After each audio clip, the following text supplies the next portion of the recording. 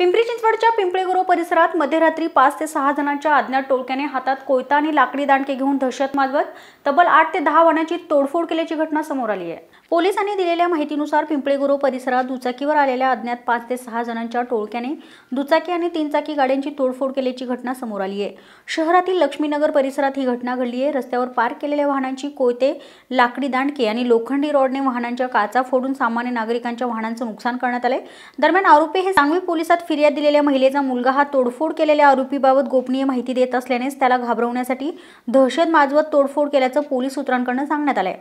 या घटनेप्रकरणी अद्याप कोणालाही ताब्यात घेतलं गेलं नसून सांगवी पोलीस याचा अधिक तपास करतायत.